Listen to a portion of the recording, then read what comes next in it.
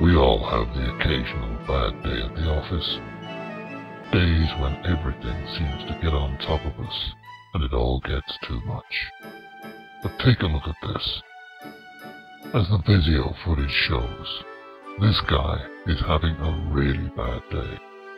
And he's pulling quite a few of his workmates down with him. Quite literally. The point is, how do we guard against this kind of thing happening to us?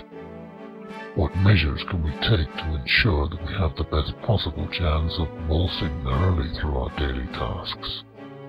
Well, unforeseen problems invariably show up when we least need them, and we can never totally eliminate those.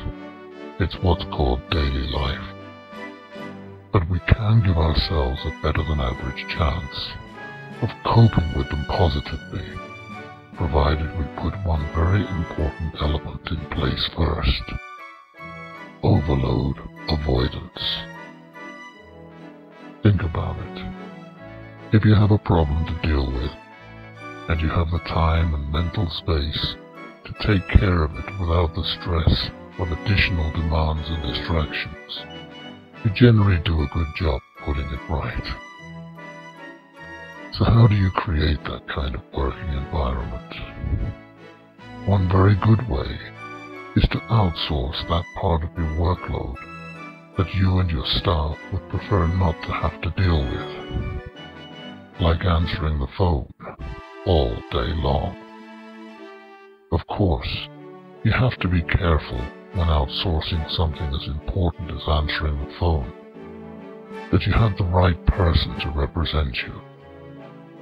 Perhaps that's your next customer they're talking to.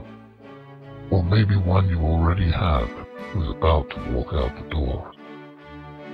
Handling your calls requires a professional business mind combined with exceptional communication skills.